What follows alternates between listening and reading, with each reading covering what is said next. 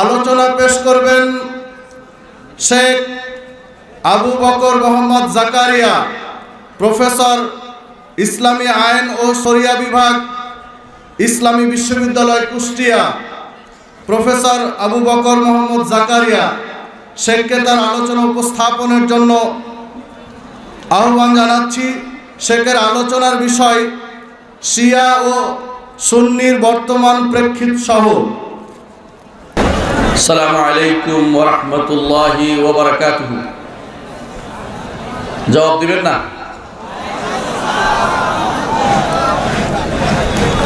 إن الحمد لله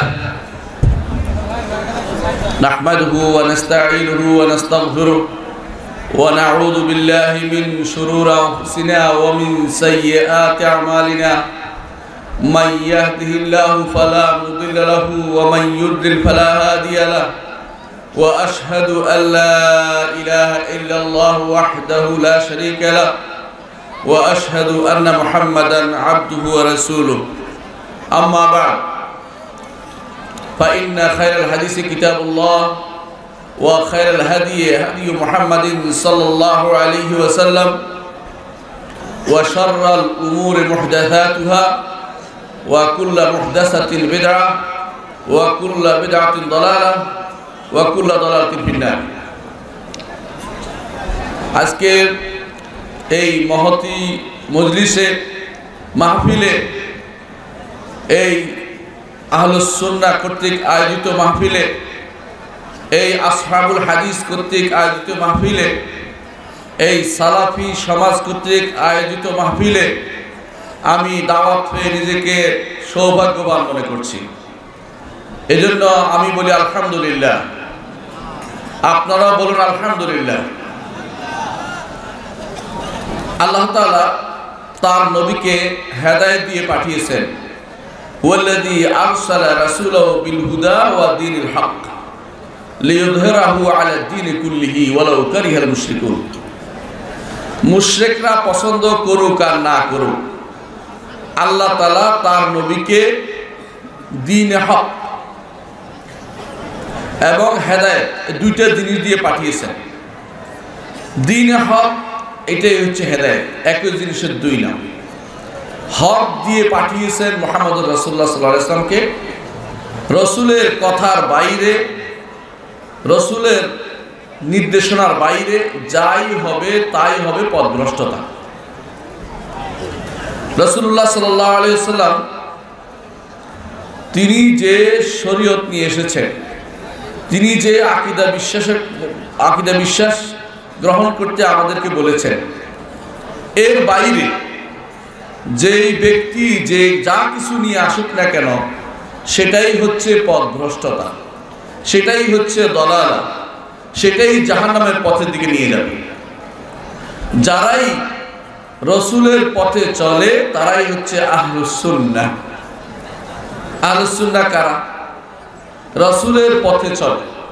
সুন্না অর্থই হচ্ছে হাদিস, এই দুইয়ের মধ্যে কোনো পার্থক্য নাই।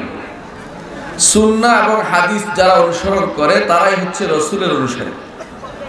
আর দ্বিতীয় শব্দ একটা আমরা বলে থাকি আল জামা আহলুসুন্না ওয়াল জামা জামা হচ্ছে সাহাবাই কেরাম রেদওয়ানুল্লাহ আলহিম আজমাইন। তাহলে কি হলো? যারাই রাসুল্লাহ সাল্লাহ আলিয়াল্লামকে অনুসরণ করবে।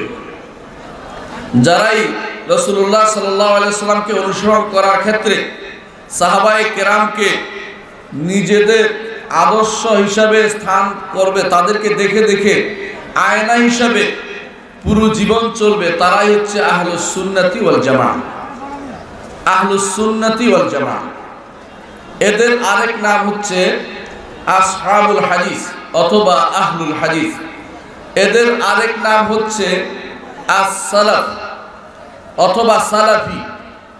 এদের আরেক নাম হচ্ছে আল ফেরকাতুল নাজিয়া বা নাজাত প্রাপ্ত দল। এদের আরেক নাম হচ্ছে আত্মায়ফাতুল মনসুর, সাহায্যকৃত দল।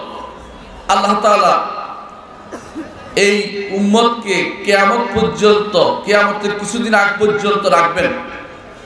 যতদিন পর্যন্ত আল্লাহর ইচ্ছা ততদিন তিনি রাখবেন, কিন্তু হকের উপর থাকবে একটি দল।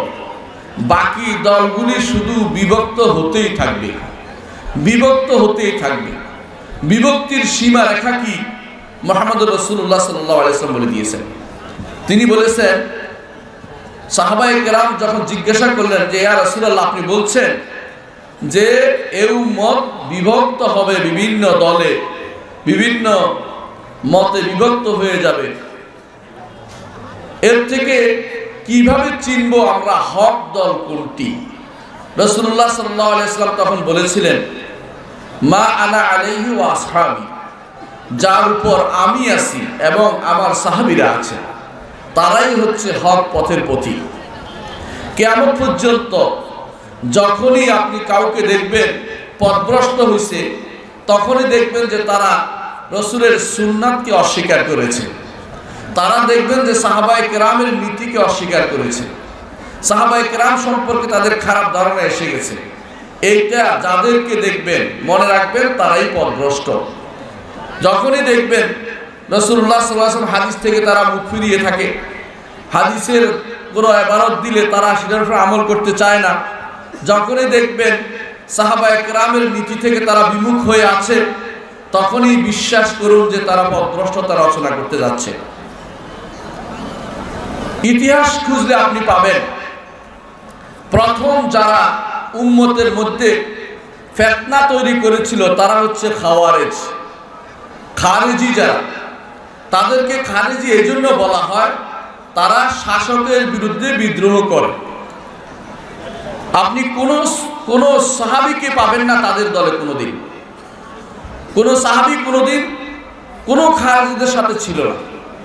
খারেজিরা হচ্ছে রসুল্লাহ সাল্লাম বলেছেন, সুফাহাউল আহলাম এদের বিবেক কম। হদাসাউল আসনাম বয়সের তরুণ এরা পথভ্রষ্টতা লিপ্ত হয় কারণ সাহাবায় গ্রামের নীতি অবলম্বন করতে তারা চায়নি। আবেগ তাড়িত হতে চলেছে। আবেগ তাড়িত হয়ে তারা অন্যায় করেছে। অবে আবেগ তাড়িত হয়ে তারা শাসকের বিরুদ্ধে বের হয়েছে। এরা হচ্ছে খারেজি। এরা রসুল্লাহ সাল্লামের নীতির বিরুদ্ধে চলেছে। এরা সর্বপ্রথম খলিফাতুল মুসলিমিন ওসমান ইবনে আফফান রাদিয়াল্লাহু আনহুকে তারা হত্যা করে। দ্বিতীয় গোষ্ঠী। এদেরই দ্বিতীয় গোষ্ঠী আলী ইবনে আবি তালেব রাদিয়াল্লাহু আনহুকে হত্যা করে।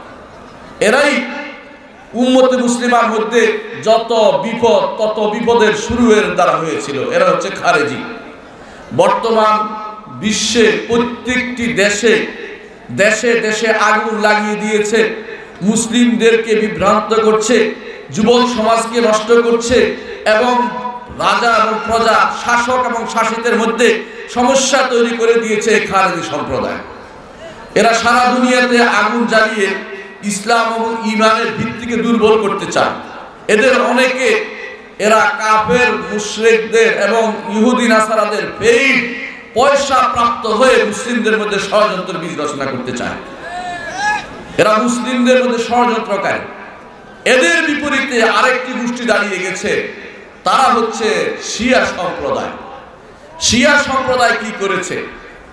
উম্মতে মুসলিমা, এক দেহ এক প্রাণ ছিল।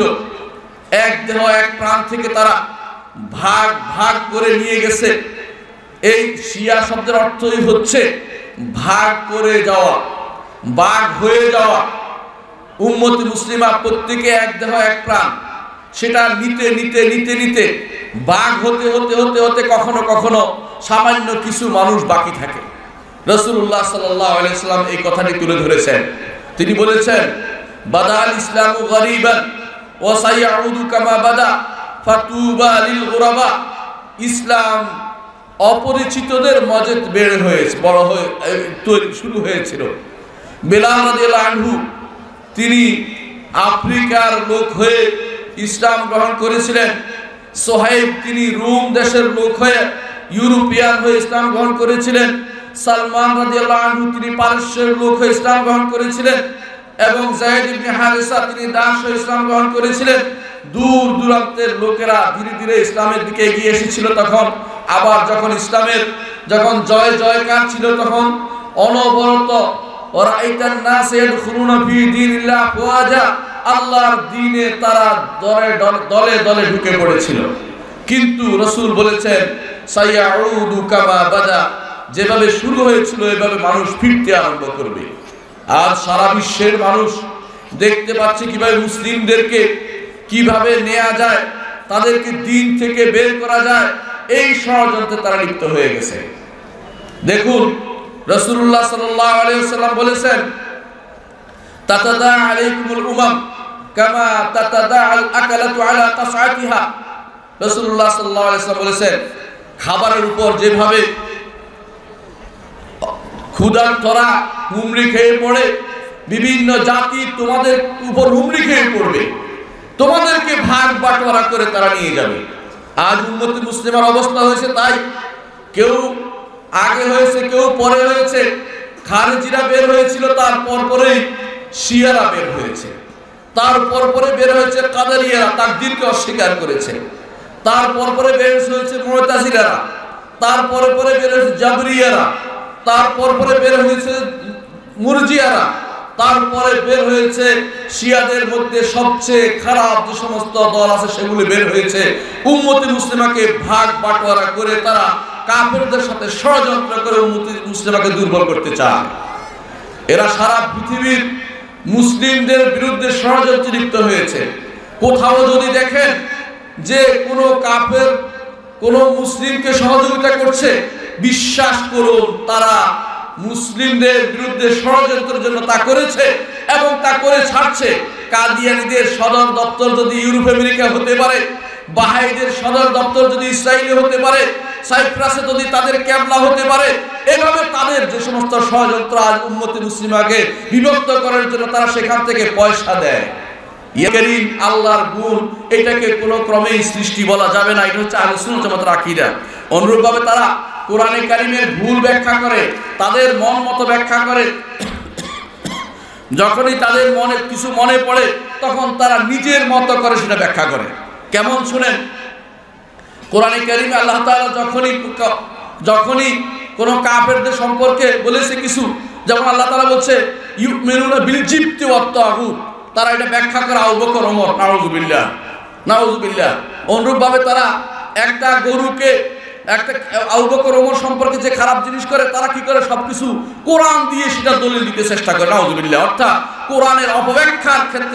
তাদের তুলনা নাই। মুসলিমদের মধ্যে যারা সুফি এবং যারা খারাপ পন্থী, এরা বাতিনি ফেরকার লোকেরা সবগুলি হচ্ছে শিয়াদের অন্তর্ভুক্ত। বাতিনি ফেরকার সবগুলি সেখান থেকে শিয়াদের থেকে নিয়ে সারা বিশ্বে সেগুলি প্রচার প্রসার করে ছেড়েছে। চিন্তা করে দেখবেন আমাদের দেশে এই যে ইয়াহিয়া খানরা অথবা টিকিয়া খানরা অথবা এই জাতীয় মানুষগুলি সবগুলি কিন্তু শিয়া ছিল।